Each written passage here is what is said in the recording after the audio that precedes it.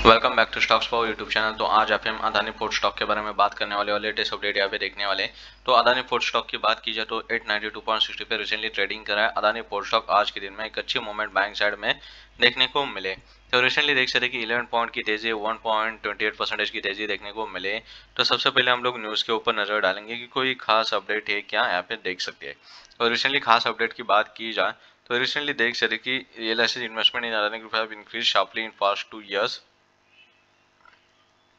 तो कोई खास अपडेट नहीं है अदानी पोर्ट के लिए। तो रिसेंटली अदानी पोर्ट यहाँ पे देखा जाए तो आज ओपन हुआ था गैप अप से ओपन होकर गिरावट भी हो चुकी थी। तो प्रीवियस क्लोजिंग ने यहाँ पे आप देख सकते आज फिर से एक स्ट्रॉन्ग सपोर्ट का काम किया। और वही से देख सकते कि स्टॉक एक अच्छी तेज़ी के साथ ऊपर चला गया तो रिसेंटली 890 को ब्रेक करके ऊपर सेटल हो चुका है। तो इजीली 900 लेवल तक जाने के चांसेस ओपन हो चुके हैं। मार्केट कैप जो है वन लाख करोड़ है। पी रेशियो थर्टी का है और डिविडेंड टिल पॉइंट का।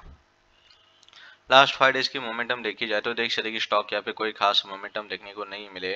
वॉल्यूम की बात की जाए तो ट्रेडेड वॉल्यूम 25 लाख का है टोटली आज के दिन का।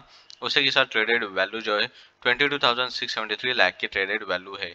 बाइंग के लिए फोर लाख से ज़्यादा क्वांटिटी अभी भी पेंडिंग है।